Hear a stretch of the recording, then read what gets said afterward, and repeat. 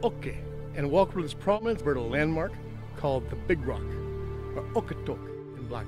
A wonderful place to acknowledge the traditional territories where my history show is filmed. Welcome to the History Wranglers History Show. It'll make your day. Please welcome the host of your show, the History Wrangler. Hey! Yahoo! All right, ladies and gentlemen, boys and girls, welcome to History Wrangler, High Noon Summer Alberta History Show. It's great to have you here. Now, come with me. Here we go.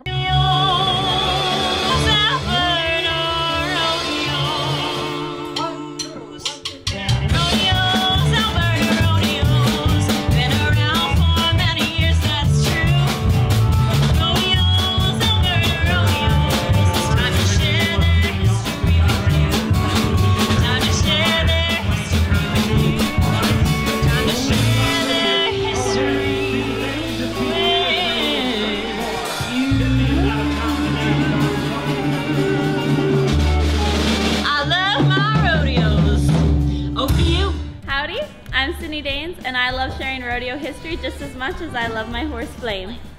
In this segment, I would like to feature two rodeo legends, Dee Butterfield and the four-legged legendary horse Junior. Now, Dee learned to barrel race at the age of 12 years old, and she collected 15 championships with the Canadian Girls Rodeo Association. She then went on to be crowned the 1992 Canadian Champion Barrel Racer and qualified for the Canadian Finals Rodeo 11 times with five different horses. Dee has also taught many barrel racing champions over the years, including Calgary Stampede champions and two-time world champion Lindsay Sears. In regards to the four-legged rodeo legend Junior, Junior was one of the finest horses used for roping by some of the finest ropers in North America, including Kenny McLeod, who rode Junior to win both the Canadian Championship and the Calgary Stampede in 1972, and Tom Ferguson, who won the Calgary Stampede title in 1973, the same year that Junior earned the award of the best rope horse. Thanks for joining Flame and I, and have a great day. Have you heard the news about the history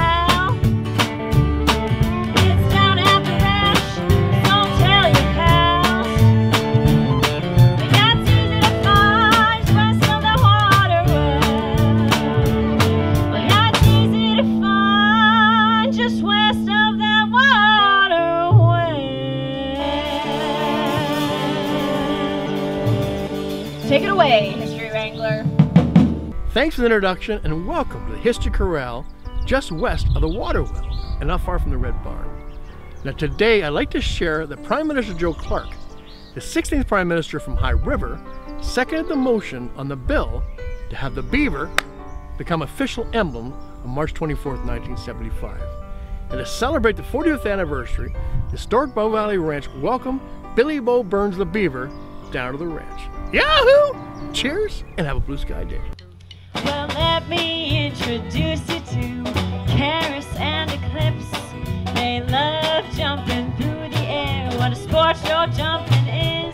Now they're going to share some history with you from the world famous Spruce Meadows Sports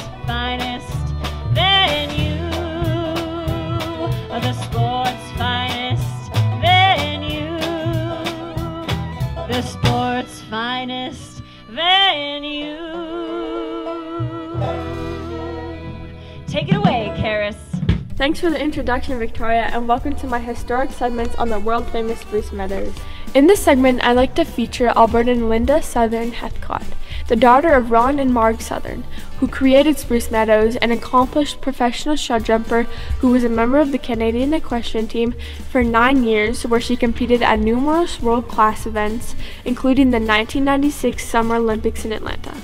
Miss Southern Heathcott is very busy these days, and her many roles include being the president and chief executive officer of Spruce Meadows and the honorary colonel of King's Own Calgary Regiment. In regards to Spruce Meadows history, on June 29, 1990, Her Majesty Queen Elizabeth II visited Spruce Meadows, and one of the family of horses, bronzes, that were commissioned was dedicated to Her Majesty. Until next time, I'm Karis, who loves my horse more than all the chocolate in Paris. Three, ladies and gentlemen, round of applause, ladies and gentlemen, for Stephanie Keeper and TJ West.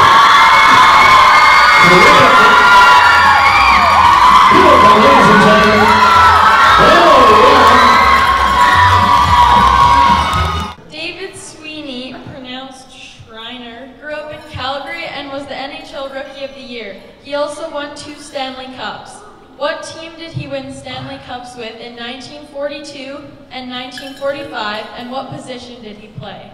Thank you very much, Stephanie. Yes. TJ West. Okay, your options are number one, uh, the Montreal Canadiens, and he played goalie. Number two, the Toronto Maple Leafs, and he played forward. Number three, the Chicago Blackhawks, and he played defense. And option number four, the Edmonton Flames, and he was the water boy. All right, the water boy. Okay, let's let's start that countdown. So come on now. Five.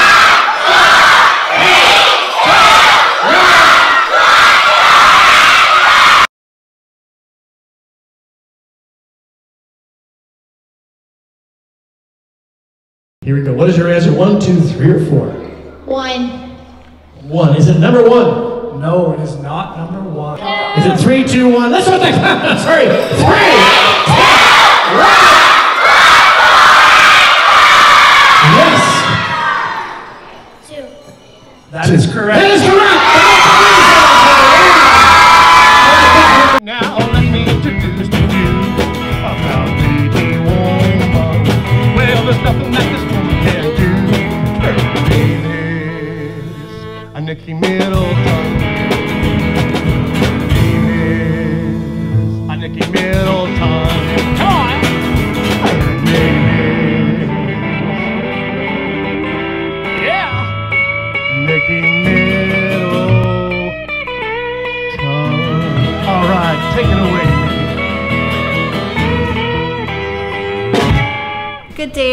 Nikki Middleton, Calgary, Alberta, Canada. Métis, international award-winning model, fitness model, and actress. Dunze on today's Métis historical segment. I'm very pleased, as usual, to share information on the remarkable Edward Beaupré. The Willow Bunch giant, Edward Beaupré was born January 9, 1881 a normal child until he was three years old. He started suddenly growing in an alarming way, so much that at the age of nine, his height was measured at six feet. Wow. At 12 years, six foot six, and at only 17 years old, he'd reached seven feet, one inches. Edward, also known as the Willow Bunch Giant, grew to a staggering height of eight foot two and weighed 370 pounds.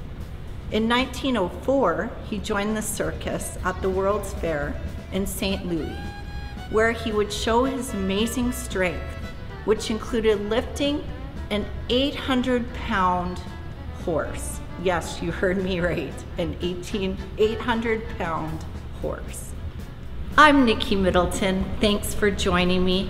And as they say in Michif, the Métis language, Minaka Wapamitin, which means I'll see you again.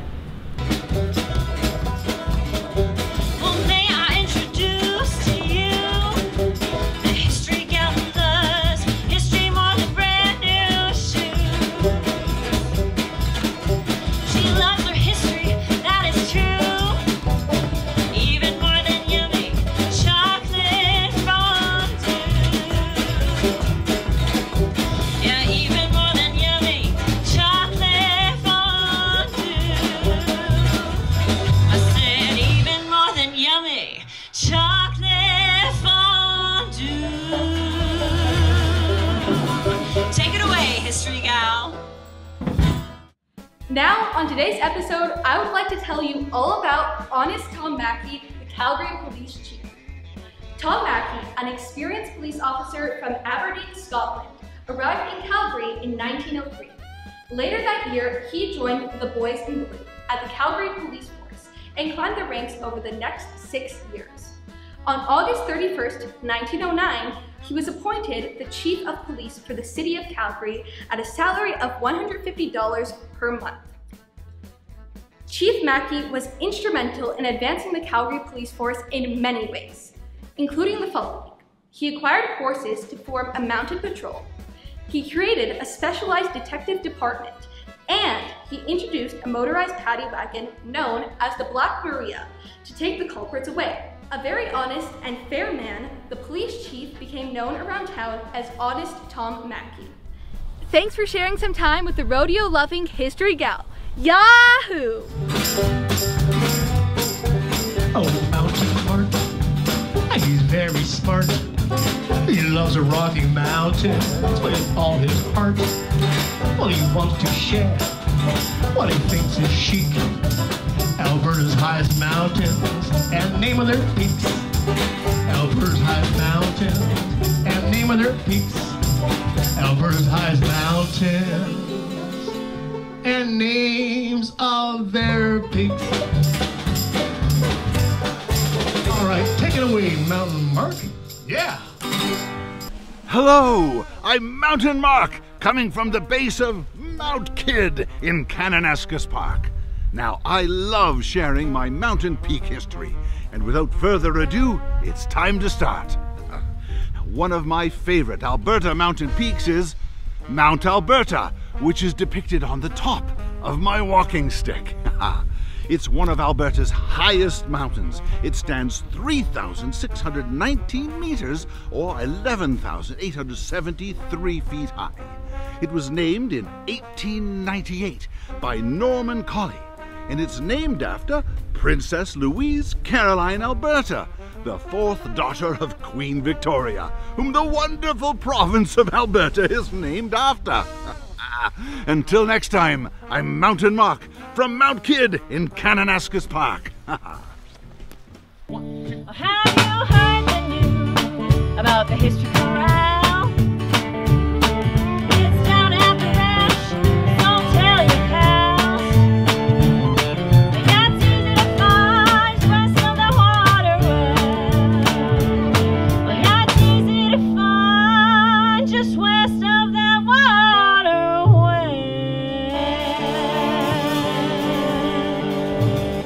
Take it away, History Wrangler. Thanks for the introduction and welcome to History Corral just west of the water well. Now today I'd like to share that back on October 27, 1951, then Princess Elizabeth and the Duke of Edinburgh watched the CFL Western Semifinals football game at Clarke Stadium in Edmonton from close to the sidelines. And also after watching a rodeo in cold Calgary, he's given an electric blanket. Cheers and have a blue sky day. Now Courtney is a fifth generation cowgirl. Her family ranch is near Pincher Creek. Well, she's traveled around the world as a stampede princess and loves horses and the Calgary Stampede. And loves horses and the Calgary Stampede. Take it away, Courtney. Howdy. The theme for this Calgary Stampede historical segment is the 1923 Calgary Stampede. The 1923 Stampede started with a 5 kilometer long parade featuring 5 bands and 2,000 participants. It was led by Calgary Mayor George Webster, who was dressed as a cowboy, and set the tone for the entire city. Calgary's downtown was also closed down for two hours every morning to permit for street dancing, and the first Stampede breakfasts were served. They're still a big part of the tradition at today's Stampede. That year, introduced were chuck wagon races, along with wild horse races and wild cow milking. Cowboy contestant Eddie King rode his horse into a cafe. 10,000 people were served barbecue buffalo at the closing event, and the oldest man and woman in Western Canada both received buffalo robes. Yahoo! For the history of the Calgary Stampede. Well, hello, my name is Ash. I'm reporting with BBC, and I'm here to share with you British royalty. So sit back and relax with a cup of tea. I love my British royalty and sharing it across the sea, and sharing it across the sea. Cheerio!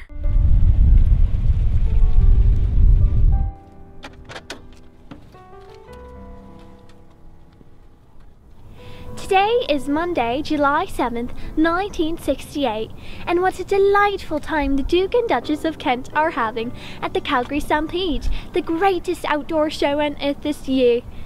They finally opened the Stampede last Friday, July 4th, which was a special treat for all the American visitors. And this morning, they both rode horses in the Calgary Stampede. Until next time, I'm Sash, reporting for BBC from across the great big sea. Cheerio! See with horse racing, and those horses go around the track. Such action almost gives me a heart attack. Now Roy's a 50 race winner. Is going to teach you some horse racing history and take you on back. Yes, Roy from the Flying Cross Ranch in central Alberta is going to teach you some horse racing history and take you on back. Yeah, take it away, Roy.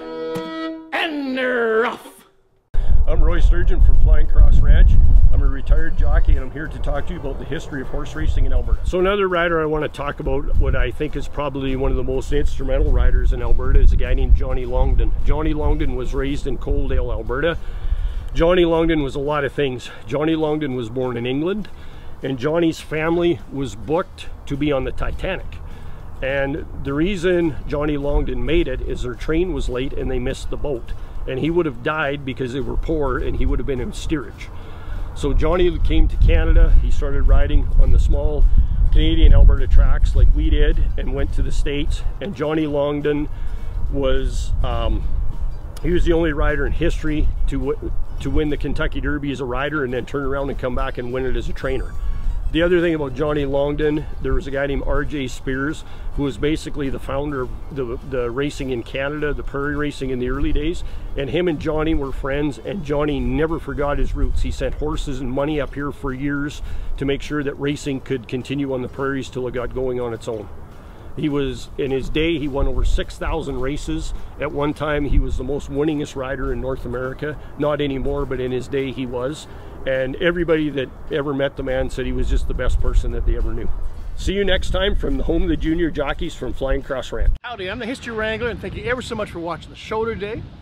On a side note, I'm actually coming from Little Chicago, a small little town that actually existed. Some of the best schools in Alberta, I understand, is located just south of Black Diamond and no longer exists. So again, History Wrangler, thank you ever so much for watching the show. I'll see you next time. I'm looking for a pump jack. Have you guys seen a pump jack? Oh yeah, I think I see a pump jack.